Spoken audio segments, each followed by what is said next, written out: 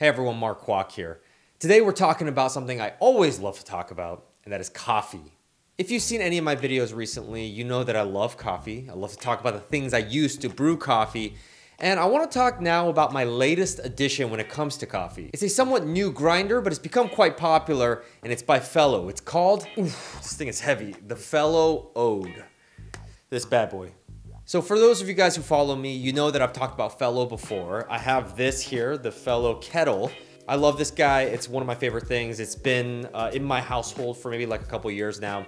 But I, I really do love the company Fellow. They started really off with this, but somewhat recently they decided to be a part of every step of the coffee brewing process and not just the kettle but also now a grinder. So let's talk about how this compares to my previous grinder if it's a good grinder overall and if it's worth its pretty steep price tag. So let's talk the pros about this grinder first. Number one aesthetics I've said it before, but Fellow just makes dope looking products. Really clean, really, really nice on a, on a kitchen table or in a counter or something like that. It's almost like a minimalist statement piece that sits on your counter. I mean, when you have that kettle on there, when you have that grinder on there, it just elevates the space, making it look better than normal. And now, I would say that that's actually important you're in your kitchen every day, and when things look good, you wanna use those items. It just makes you feel slightly better. And I've talked about this in many videos before, but aesthetics do matter.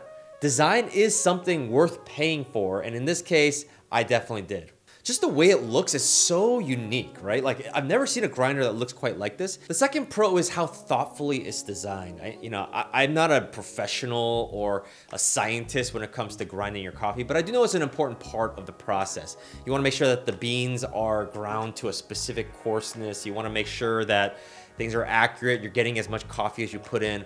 All those sort of things matter. And they've really done all the thinking for you. So I don't really have, I just have to kind of press a button, know exactly what kind of amount of coffee that I want, and I'm good to go. You get this little cup, which is awesome, that, that houses your grind, so then you can take this and put it into your machine, your coffee machine. It has all these magnets and various things that make the process just a little bit more elegant and thoughtful. I just think that they've put more thought into this and they wanted to be innovative and try something that's like not been done before by other grinders. And they've done it really well. You can tell that these are coffee snobs and people who know coffee a lot that actually designed this product. And the fact that it looks good as well as functioning well, like that's a perfect mix, right? You want both form and function, and I think this gets a nice balance of both those things. So there, form, function, those are the pros. What are the cons? There are a couple things that I don't like about this as well. The first is that it's not a perfect machine when it comes to, let's say, getting all the coffee out. And I think this honestly is with any sort of grinder. When you grind, you want to be able to kind of extract as much of the grinds as possible. Sometimes though, your machine, I don't know, like keeps a couple of the grinds in there, so you create a mess and you get residue, it's all over the place. This is no exception. You do this like 10 times and you still have grinds coming in over and over and over again. Now, are, are there any grinders that do this perfectly? I don't think so. Therefore, I can't really knock it too much but my expectations were high, right? The second thing is going to be the big price differential between this grinder and so many others that are in the market. This thing is a solid $300 if you don't have any like coupons or anything like that. So 300 bucks for grinding your coffee. So yeah, I think overall this thing is a little bit overpriced and you're kind of paying that extra because it has the prestige of the design, it's innovative, it's something new and so on. So overall, here's my thoughts. If you're talking about a summary here, you're talking about getting the best form plus function machine out there. I think this looks the best, feels the best, and kind of is consistent and good and at parity with some of the best grinders out there. So in that case, fantastic.